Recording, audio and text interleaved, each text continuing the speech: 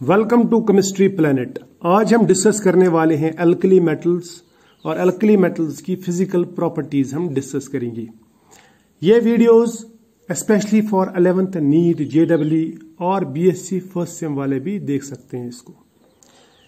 तो physical properties में सबसे पहली फ़िज़िकल प्रॉपर्टी में जो यहाँ पे डिस्कस करने वाला हूँ, वो है अपीयरेंस या फ़िज़िकल स्टेट अल्कली मेटल्स दिखते कैसे हैं?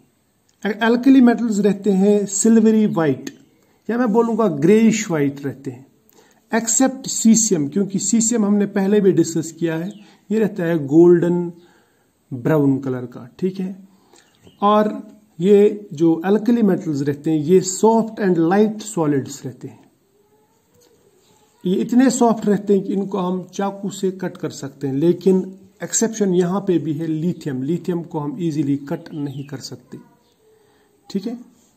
इसी तरह से जो एल्कली मेटल्स रहते हैं, ये पैरामैग्नेटिक रहते हैं। पैरामैग्नेटिक क्यों रहते हैं? क्योंकि यहाँ पे जो इनकी इलेक्ट्रॉनिक कन्फिग्रेशन होती है जनरल इलेक्ट्रॉनिक कन्फिग्रेशन तो लास्ट शेल में इनके एक इलेक्ट्रॉन बचता है। हर एक एल्कली मेटल के लास्ट शेल में एक इलेक्ट्रॉन रहता है, जो अनपियर्ड रहता है। जिन स्पीशीज में अनपियर्ड इलेक्ट्रॉन रहता है, उनको मैग्नेटिक फ़ील्ड अपनी तरफ़ अट्रैक्ट करता है।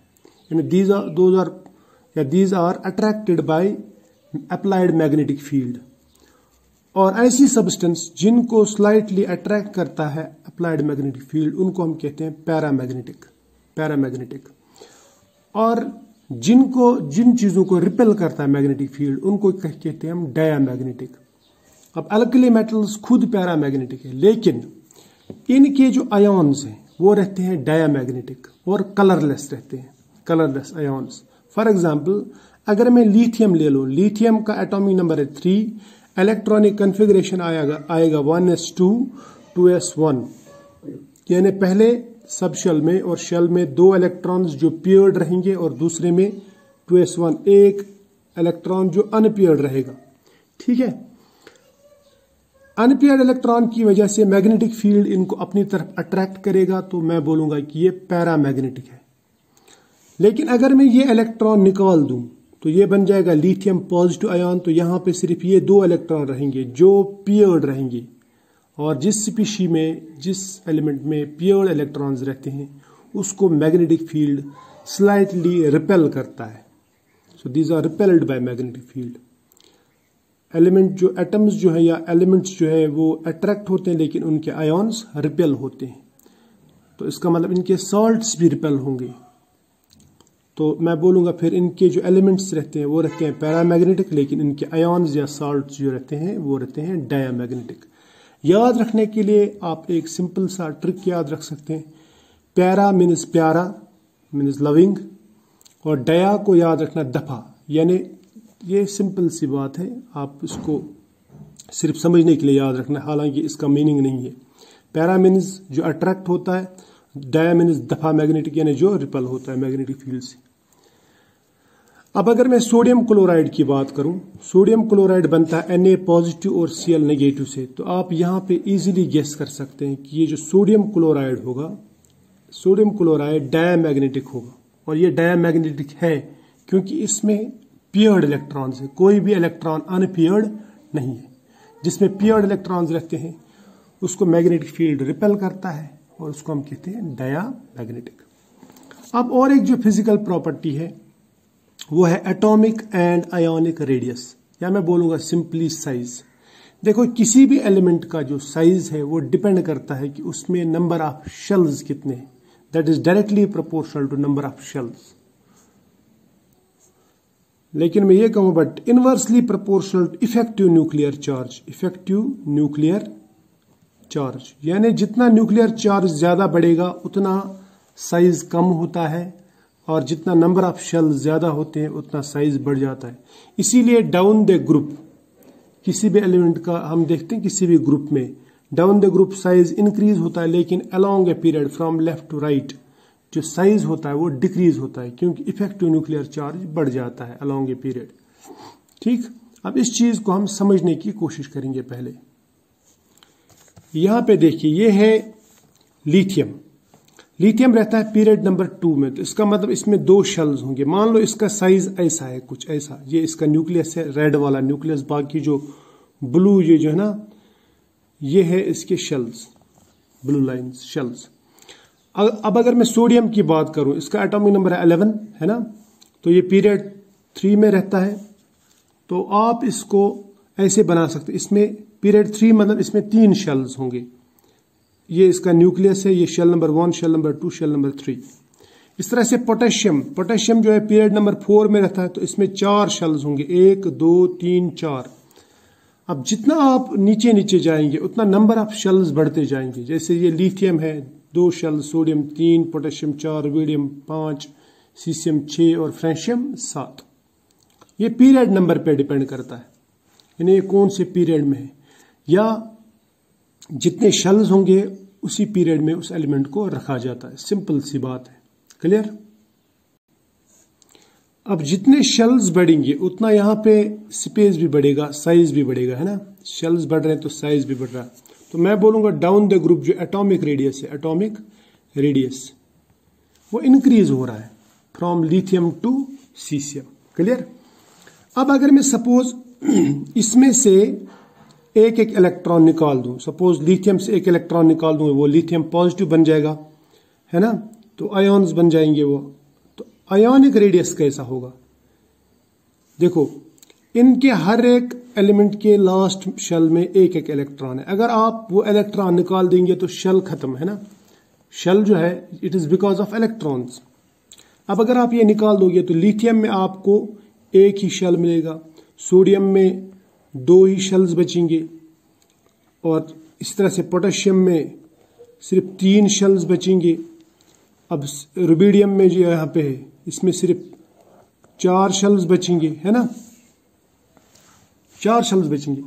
तो इसका मतलब यह हुआ कि एटॉमिक रेडियस के कंपैरिजन में जो आयोनिक रेडियस है, वो छोटा रहता है ना? छोटा रहता है। आयोन्स, एटॉम, एटम के कंपैरिजन में छोटे रहते हैं, लेकिन कौन से ions? Cations cationic radius is smaller than ionic, ये atomic radius. अब दोनों में हमने देखा, लेकिन एक बात तो ये क्लियर है कि डाउन द ग्रुप चाहे एटॉमिक रेडियस हो या आयोनिक रेडियस हो, दोनों इंक्रीज होते हैं डाउन द ग्रुप क्यों इंक्रीज होते हैं? क्योंकि नंबर ऑफ़ शेल्स इंक्रीज होते हैं. नंबर ऑफ़ शेल्स इंक्रीज होने से क्या होता है? एक तो देखो स्पेस बढ़ जाती है शेल्स की स्पेस दूसरा, ये जो न्यूक्लियस है, न्यूक्लियस और आउटर मोस्ट इलेक्ट्रॉन की जो अट्रैक्शन है, वो कम हो जाती है, क्योंकि बीच में ये शेल्स आते हैं और ये शेल्स स्क्रीन करते हैं, यानी ये शेल्स न्यूक्लियस के इफ़ेक्ट को यहाँ तक आउटर मोस्ट इलेक्ट्रॉन तक नहीं दे, जाने देते। तो इसका मतलब जो एटॉमिक रेडियस हो या आयोनिक रेडियस हो it is directly proportional to number of shells number of shells से क्या बढ़ता है? स्क्रीनिंग बढ़ती है। स्क्रीनिंग और डिक्रीज क्या होता है? जेड इफ़ेक्टिव यानी इफ़ेक्टिव न्यूक्लियर चार्ज डिक्रीज होता है।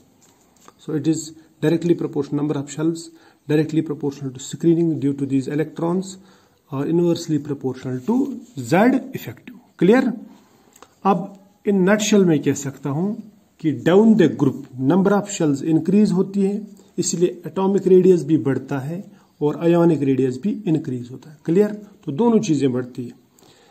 तो फिर मैं ये कह सकता हूँ कि एटॉमिक रेडियस लिथियम का सबसे छोटा, उससे बड़ा सोडियम फिर पोटेशियम फिर उससे बड़ा रुबीडियम फिर उससे बड़ा सीसियम अब आयोनिक रेडियस ये भी इसी तरह होगा ना? लिथियम सबसे छोटा, क्योंकि इसमें अब एक ही शेल बचा है, इसमें दो ही शेल्स बचे हैं, इसमें तीन शेल्स बचे हैं, इसमें चार।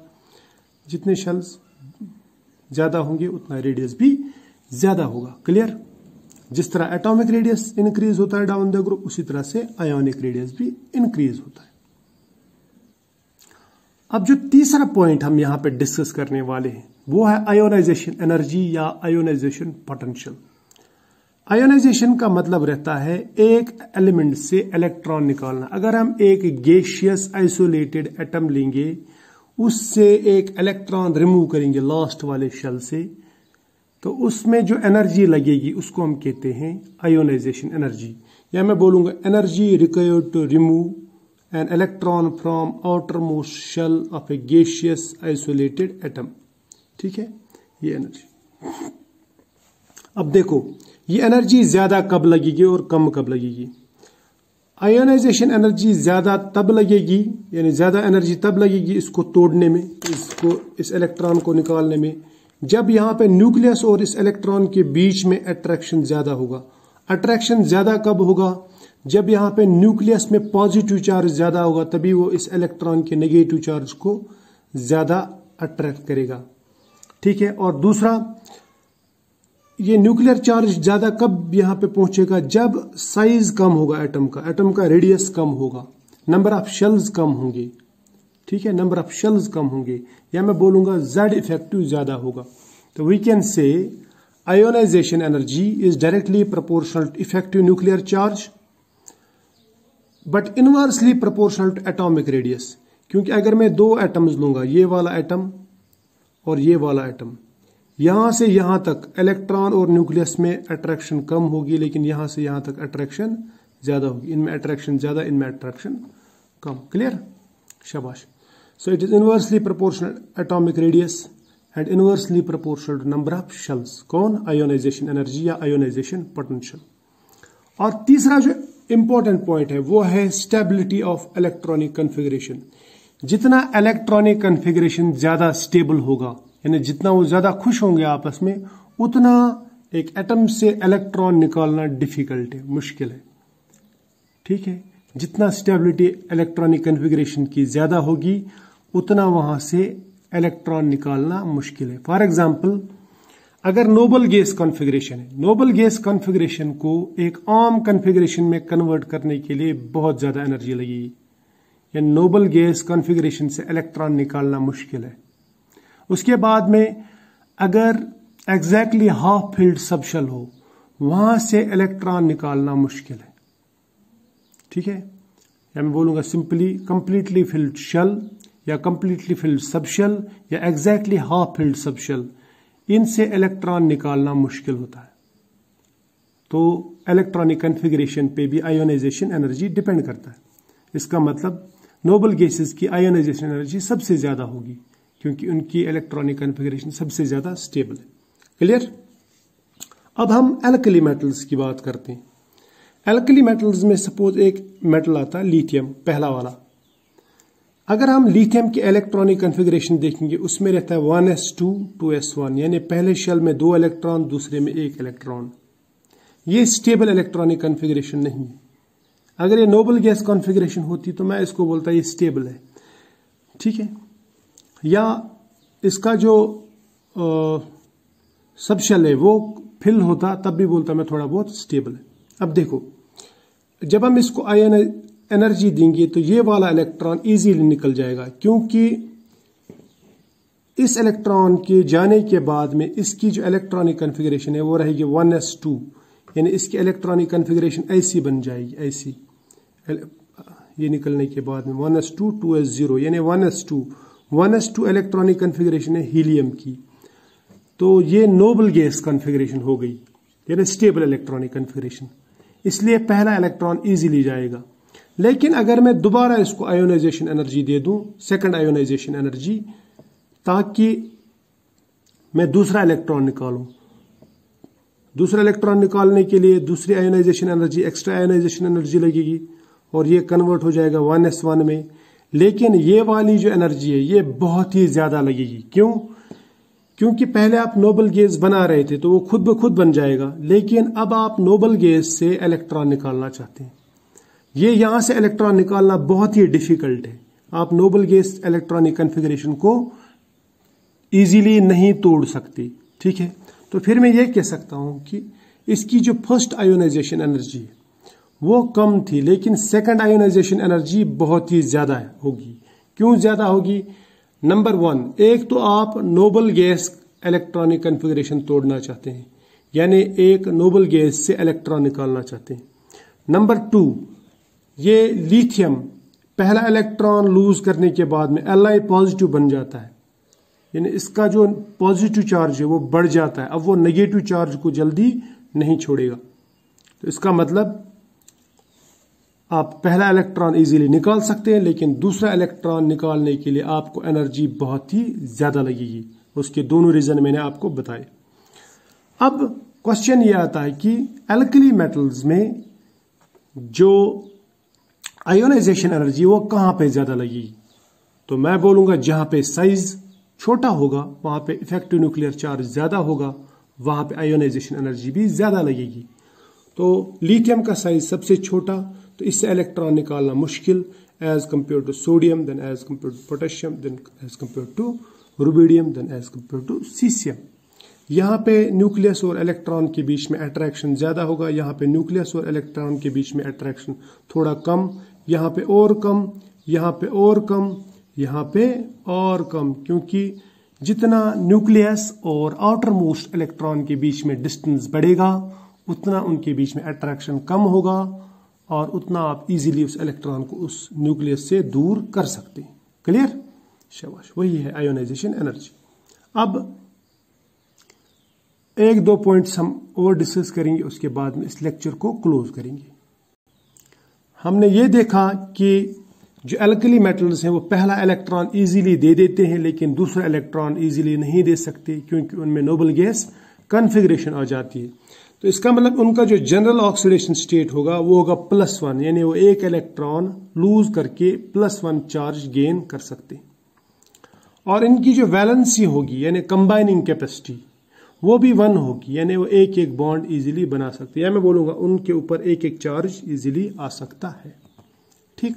इसके बाद में रहता है इलेक्ट्रॉन एफिनिटी या इसको हम कहते हैं electron gain enthalpy electron gain enthalpy और इलेक्ट्रॉन एफिनिटी क्या रहता है? इलेक्ट्रॉन गेन एंथैल्पी या इलेक्ट्रॉन एफिनिटी का मतलब रहता है energy released energy released when an electron is added to a gaseous isolated atom. यानी एक गैशियस आइसोलेटेड एटम है हमारे पास में, ठीक है? आइसोलेटेड एटम अगर आप इसमें एक इलेक्ट्रॉन ऐड कर रहे हैं, ठीक है? इसमें इलेक्ट्रॉन ऐड ऐड कर रहे हैं, उस उस एडिशन के दौरान इलेक्ट्रॉन ऐड करने के दौरान कितनी एनर्जी निकलेगी वहाँ से? एनर्जी रिलीज़ होती है, ठीक है?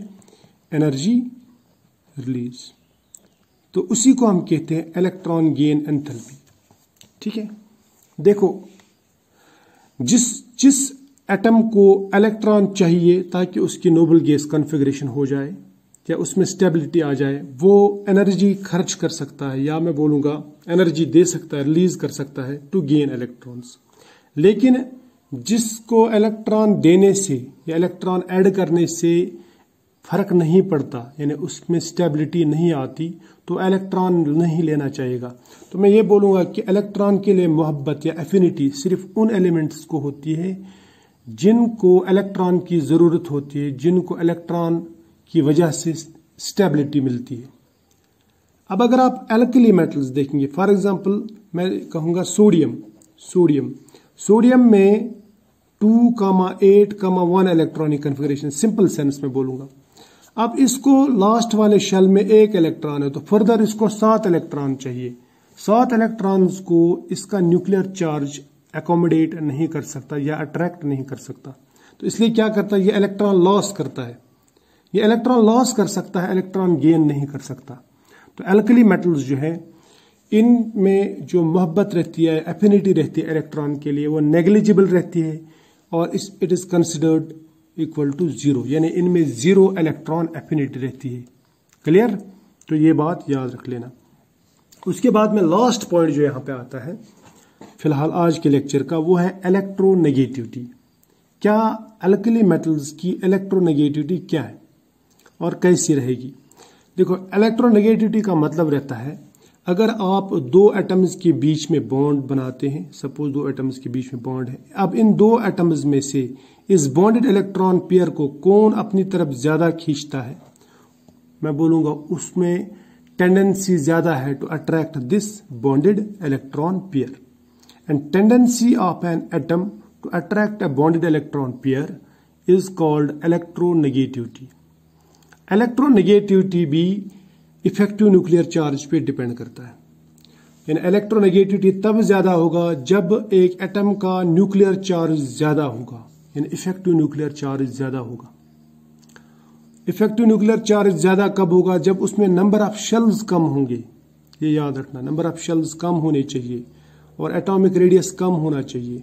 So we can say electronegativity is directly proportional to Z effective but inversely proportional to atomic radius inversely proportional to number of shells ठीक है? और नंबर ऑफ़ शेल्स जितने ज़्यादा होंगे, उतना मेटालिक करेक्टर भी ज़्यादा होता है। ये बात याद रखना। तो मैं कहूँगा फिर it is inversely proportional to metallic character so electronegativity is inversely proportional to metallic character यानी एटॉमिक रेडियस तो इसका मतलब यह हुआ कि मेटल्स की पहले तो इलेक्ट्रोनेगेटिविटी पहले ही से ही कम रहती है। अब अगर मैं डाउन द ग्रुप जाऊँ तो एटॉमिक रेडियस जो है वो बढ़ जाता है एटॉमिक रेडियस बढ़ जाता है नंबर ऑफ़ शेल्स बढ़ जाते हैं तो इफ़ेक्टिव न्यूक्लियर चार्ज और कम होगा। सो मैं ये कह सकता हूँ कि डाउन द ग्रुप जो इलेक्ट्रोनेगेटिविटी है, वो डिक्रीज होती है। तो सबसे ज़्यादा इलेक्ट्रोनेगेटिविटी अगर फ़िलहाल मैं बात करूँ एल्कली मेटल्स में, सिर्फ़ एल्कली मेटल्स की बात कर रहा हूँ मैं तो वहाँ पे लिथियम की इलेक्ट्रोनेगेटिविटी ज़्यादा रहेगी सबसे। उसके बाद में सोडियम उसके बाद में पोटेशियम उसके बाद में रुबीडियम उसके बाद में सीसियम और ये इलेक्ट्रोनेगेटिविटी हालाँकि ऑलरेडी कम है तो डाउन द ग्रुप और कम होती जाती है because of increase in atomic radius number of shells decrease in effective nuclear charge and increase in metallic character तो आई होप यहाँ तक आपको ये समझ में आया होगा। हम मिलते हैं नेक्स्ट लेक्चर में। तब तक के लिए बाय अगर आपको लेक्चर्स अच्छे लग रहे हैं तो कमेंट्स में ज़रूर बताना और अपने दोस्तों के साथ में भी शेयर करना। और मुझे ये बताना कि लेंथी हो रहे हैं कि शॉर्ट हो रहे हैं। ठीक है?